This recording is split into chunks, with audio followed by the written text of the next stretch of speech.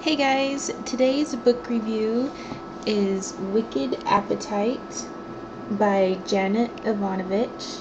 She's the same author that wrote One for the Money and the whole Stephanie Plum series. So, this book is about a girl named Lizzy who finds out that she has a special gift to detect um, these objects that may lead to uh, special stones of power that treasure hunters have been trying to find for centuries. Um, there's seven stones in total, and each one represents one of the seven deadly sins.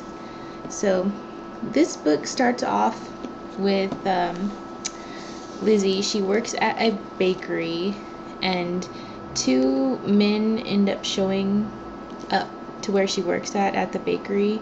Uh, the first one shows up. He's in a black car. He's dressed all in black. He's pretty mysterious, and he ends up leaving a burn mark on Lizzy's hand after he's talking to her. And he says his name's Wulf, and he really doesn't give her any idea of what's going on, and pretty much just says he'll be back for her when he needs her, and then he takes off. and so the second guy that shows up, his name is Diesel, and uh, he shows up because he's looking for Wulf, uh, but Wulf's gone by this time. And so Diesel ends up giving her his uh, phone number and tells her, you know, call me if she sees him again. So um, when she goes home later that that night, she ends up finding Diesel in her home. uh, he he Diesel has like this ability to unlock doors and people's locks and stuff. So he's just chilling out in her home. and Diesel is the one that tells Lizzy that she has this special power. Um, in the book, it's called an unmentionable.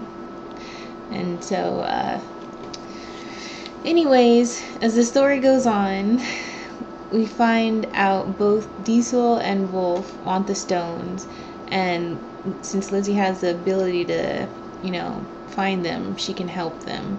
So they both need Lizzy.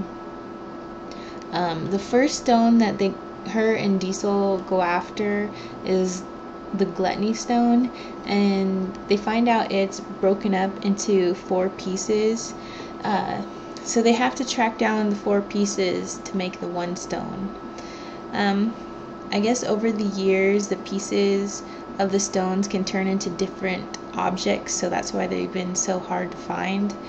Um, so they can be anything, and only um, Lizzy can tell that they're part of the stone because when she touches them, they like feel warm. She can tell what they are. So she can tell that they're, you know, part of the stone um, the people that have the pieces of the stone end up kind of acting like whatever stone they possess. So in this case, gluttonous. Um, the first lady that they find has a piece of the stone is actually one of Lizzy's customers from the bakery. And this lady like comes in every day and she ends up buying 30 cupcakes and her name's Shirley and uh, her and Diesel end up breaking into Shirley's home and they find like all kinds of food and stuff in there. Um, so finally, when her and Diesel get their hands on the stone or the piece of the stone, uh, Lizzy starts acting that way too, and she wants to eat everything in sight. um, so that kind of leads some, some, to some funny moments in the book. Um, anyway, throughout the book, her friend Glo, that works at the bakery too, uh, tries to help her out. She's sort of this goofball sidekick character. Um, she's into witch, witch, witchcraft. she's into witchcraft and buys a spell book and um, she ends up trying to cast certain spells, but something always goes wrong. She also ends up adopting a cat that she can't keep, so Lizzy has to take care of it, and also a monkey too. He comes along in the book. um, the book's pretty cute and funny. Uh, it's a really easy read. I mean, I liked it. I think the series will get better as uh, it progresses. The only knock against it for right now, uh, the characters seem a little like the people out of the number series. Like Stephanie could be Lizzy, and her friend Glo could be Lula, and Diesel could be Ranger. Um, so I hope with her next book, the characters will kind of become more of their own. But I think once you get past that, it's actually a cute book, and I hope more come out so I can read them as well.